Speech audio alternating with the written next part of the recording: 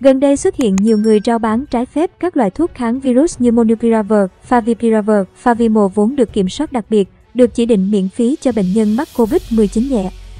Những ngày cuối tháng 11, khi thành phố Hồ Chí Minh chỉ còn 2.000 liều Monupiravir và đề nghị Bộ Y tế xem xét cấp bổ sung 100.000 liều thì trên mạng xã hội, một người đàn ông có tài khoản Facebook V ghi nhận cung cấp thuốc Monupiravir 400mg với giá 1,2 triệu đồng mỗi vỉ 10 viên, yêu cầu người mua phải đặt ít nhất 4 vị mới giao hàng. Về nguồn gốc, người bán này nhiều lần khẳng định được tuồn ra từ bệnh viện T, N, Bộ Y tế. Nói thẳng với chị, hàng này tuồn trong bệnh viện ra nên đảm bảo uy tín, hàng cấm bán ở ngoài nên việc kiểm rất gắt gao, người này nói. Về Di nói với người có nhu cầu hiện thuốc đang cháy hàng, nếu cần gấp phải chuyển tiền trước qua tài khoản, chờ lúc 3 đến 4 giờ sáng đến trước cổng bệnh viện để giao dịch. Việc lấy thuốc vào giờ này là bởi khi đó thuộc ca trực của người quen mới có thể tuồn thuốc ra ngoài với số lượng hạn chế. Khi người mua tỏ ra hoài nghi về nguồn gốc của thuốc, về Di thuyết phục, nếu không tin cứ 3 đến 4 giờ sáng chỉ cứ đến trước cổng bệnh viện, em sẽ gọi người ra đưa, là y tá của bệnh viện đàng hoàng. Đồng thời, VG liên tục hối thúc chốt đơn nhanh, mấy thuốc này quản lý thị trường đang kiểm tra gắt lắm.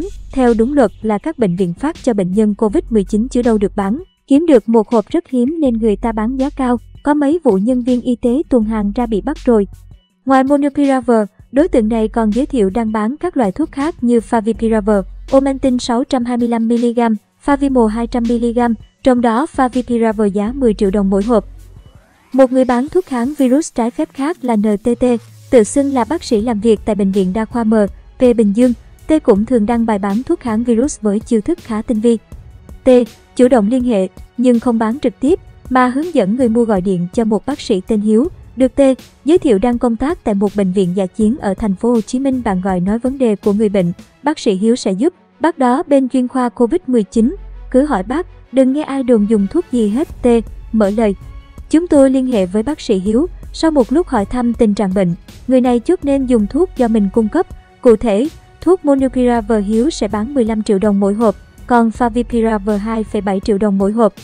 Tình trạng của bệnh nhân nên xài Monupiravir, nhưng hiện tại tôi cũng không còn, chỉ còn đúng một vị duy nhất mà đã có người vừa hỏi vị bác sĩ Hiếu này cho hay. Vì nó là hàng cấm, thuốc của tôi đang giữ là thuốc của Bộ Y tế, thuốc này mà bán ra ngoài công an bắt hết, khổ lắm. Hôm trước tôi ráng lắm mới giữ được 7 hộp, người này nói và bảo chúng tôi nhắn địa chỉ, khi có hàng sẽ liên hệ.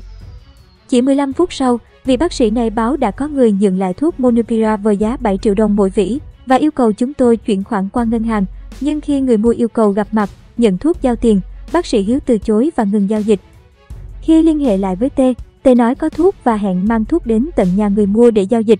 Khoảng 18 giờ ngày 23 tháng 11, T chạy xe biển số Bình Dương, đeo thẻ nhân viên y tế của Bệnh viện Đa khoa M, về đến điểm hẹn.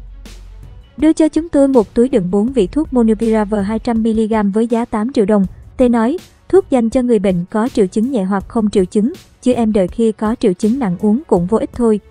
Ngoài loại thuốc này, T còn giới thiệu thuốc Favipiravir. Loại này tôi đưa ra ngoài bán giá 5 triệu trên hộp nhưng giờ đã lên bằng giá của thuốc Monupiravir do hiếm hàng không thể tuồn ra nữa, chỉ dùng tại bệnh viện thôi. Trao đổi với tuổi trẻ, đại diện Bệnh viện Đa khoa M, P Bình Dương xác nhận người có tên T từng làm việc tại đây trong khoảng một tuần và đã nghỉ việc. Trước đó T cũng từng tham gia hỗ trợ công tác chống dịch ở Bệnh viện Giả chiến Thới Hòa. Thuốc điều trị COVID-19 được cấp trực tiếp cho bệnh nhân COVID-19, không hề thông qua nhân viên này. Khi đang thử việc tại bệnh viện, nhân viên sẽ được phát một thẻ tạm thời. Tuy nhiên do người này đang trong quá trình thử việc mà nghỉ ngang nên chưa thu hồi thẻ lại, đại diện bệnh viện này nói. Còn về người bán có nick V, Di nói thuốc được tuồn ra từ bệnh viện T, N.